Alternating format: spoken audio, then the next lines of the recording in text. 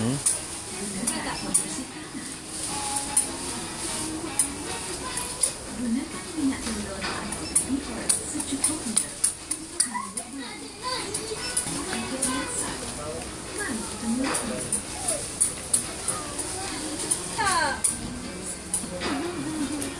Bila tahu nak pakai tu Kalau bagi kat si Sufi Ha, dah mana tahu dah boleh pakai. Siap ada ni lagi kepala.